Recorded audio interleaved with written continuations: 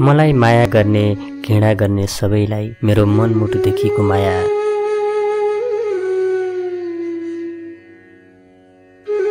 तपाईँहरू हुनुहुन्छ र म आचल शर्माको नामले परिचित छु। कहिले ताली कहिले गाली स्वाभाविक हो। जे होस् माया मार्नु भएको छैन र त चलचित्रहरू पाइरहेको छु।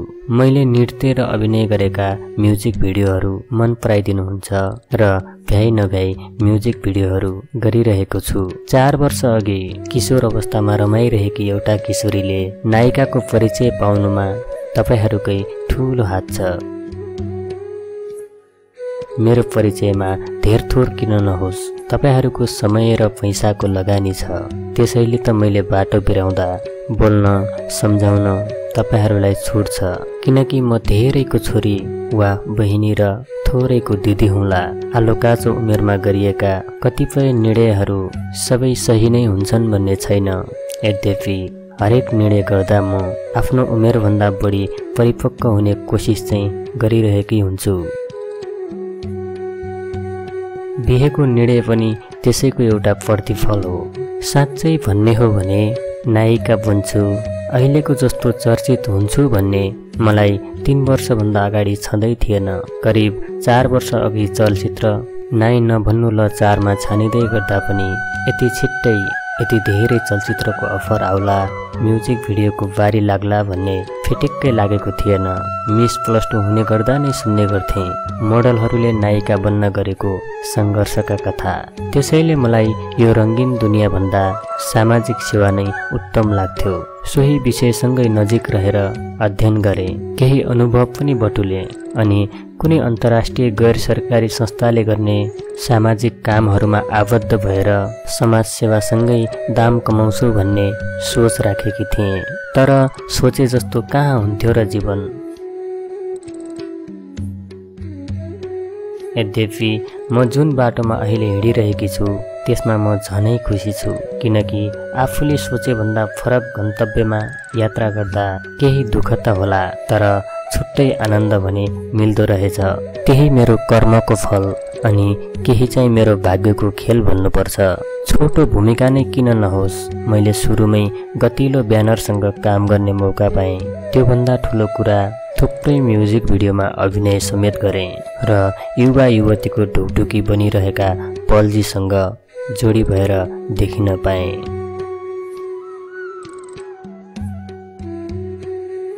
पलजीलाई दर्शकहरूले म्युजिक भिडियोमा यसै पनि मन पराइसक्नु भएको थियो।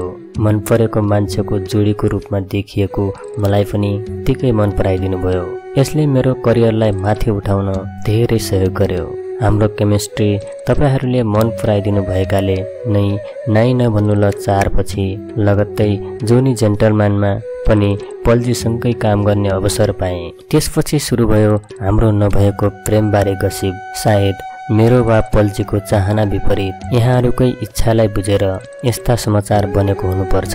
सुरुवातमा यस्ता समाचारले मलाई निकै अत्याउँथ्यो किनकि परिवारसँग मैले बाचा गरेर चलचित्र क्षेत्रमा प्रवेश गरेकी थिएँ। मैले बुवा आमालाई भनेकी थिएँ म तपाईँहरूको इमानलाई सधैँ उच्च बनाउने काम मात्र गर्नेछु। तर चलचित्र क्षेत्रमा प्रवेश गरेको केही महिनापछि नै नभएको प्रेमबारे समाचार देख्दा मिडियासँग मन भाँडिएको थियो। भित्र भित्रै आफन्त र परिवारले के भन्ने होलान् भनेर पिर चिन्ता परेको थियो।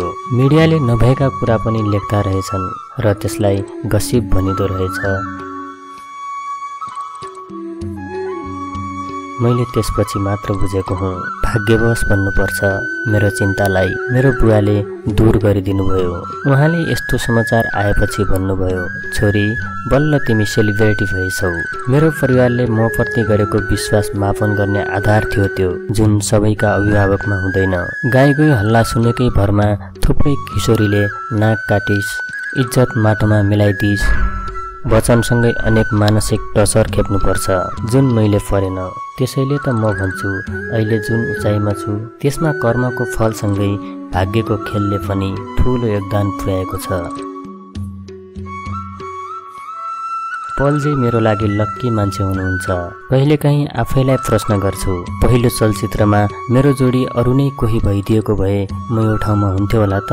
त्यसैले मेरो करियरको लक्की मान्छेसँग मेरो नाम जोडिँदा चुपचाप बसेँ। अन्तर्वार्तामा पत्रकारले सोद्धाखेरि चाहिँ यथार्थ कुरा भनिरहे मैले मात्र होइन पलजीले पनि हाम्रो प्रेम सम्बन्धबारे जति नै दबावपूर्ण प्रश्न आए पनि कहिल्यै स्वीकार गर्नुभएको छैन। हुँदै नभएको कुरा स्वीकार गर्ने कुरा पनि त आएन।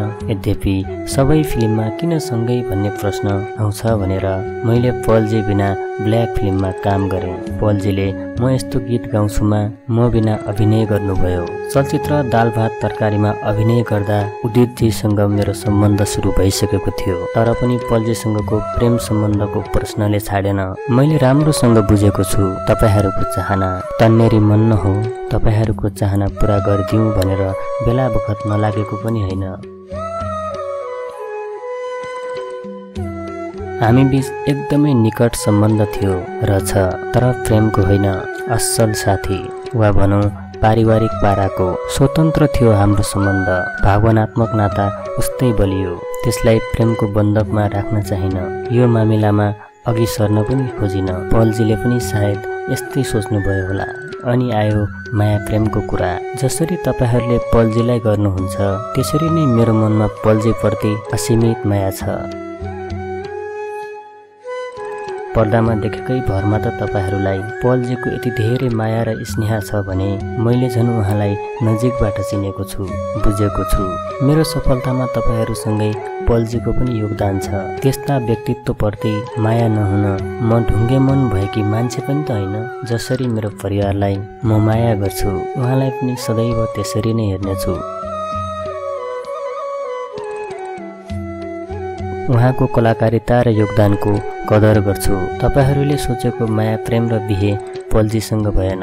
यद्यपि पहिलो भेटदेखि अहिलेसम्म जुन रूपमा माया गरेको छु त्यो यथावत नै राख्नेछु मेरो मनमा यस्तो कुरा आइरहँदा पल्जेको मनमा के छ कुन्ने त्यो मलाई थाहा हुने कुरा भएन। आशा गरौँ उहाँले पनि सकारात्मक नै सोचेको हुनुपर्छ। देखेको होइन लेखेको पाइन्छ भन्ने उखान मैले पनि बच्चैदेखि सुन्दै आएको हो। त्यसैले उदीपजीको हातले मेरो सिउँदो भरिन लेखेको रहेछ।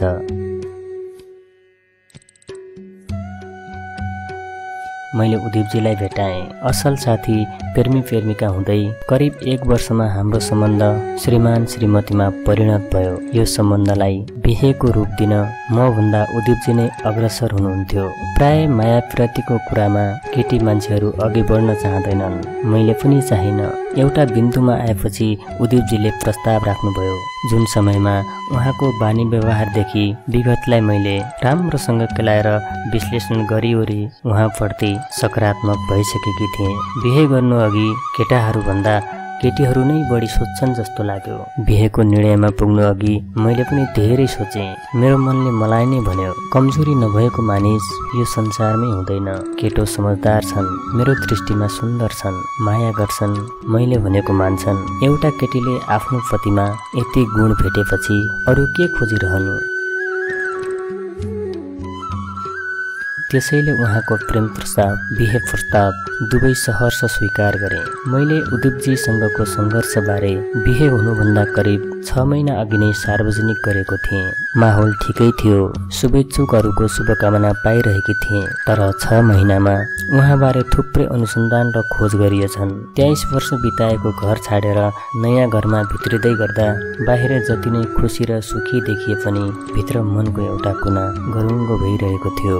त्यसमा माथि थपिए आलोचनाका शब्दहरू। धनको पछि लागे। आफूभन्दा बुढो केटासँग बिहे गरी पललाई धोका दिए पैसाको तुचुक देखाई सोह्र लाखको लेहेङ्गा लगाई हेलिकप्टरको सवारी कसलाई देखा हो यस्तो नौटङ्की? यतिले नपुगेर सार्वजनिक भयो उदीपजी बारे गरिएका अनुसन्धान र थेसिस जुन हाम्रा लागि नौलो थिएनन्। आफूले प्रेम गरेको मान्छेलाई पनि ओइलिएको फुल भन्दै दुर्दुर छिछि र दुरदुर गर्दा रहेछन्। आफूले माया गरेको मान्छे पाएको क्षणलाई अविस्मरणीय बनाउन इमान्दारितापूर्वक कमाएको धन ट्याक्स भ्याट तिरेर खर्च गर्दा पनि आपत्ति जनाउनेहरू हुँदा रहेछन्। पुरुषहरूले बुझेनन् एउटा महिलाको खुसी। तर राजकुमारी बन्ने सपना देख्ने नारीहरूले पनि नारीकै कुरा कहिलेकाहीँ नबुझ्दा रहेछन्। जे होस् बिहे भयो अविस्मरणीय रह्यो फिल्मी करियरमा धेरै सङ्घर्ष र पीडा त सहनु परेको थिएन।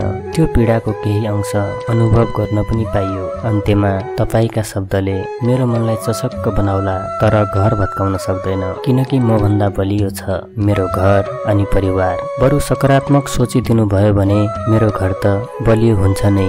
अरू नारीहरूलाई पनि ऊर्जा सम्मान र प्रेरणा दिनेछ। मलाई माया गर्ने घृणा गर्ने सबैलाई मेरो नमस्कार।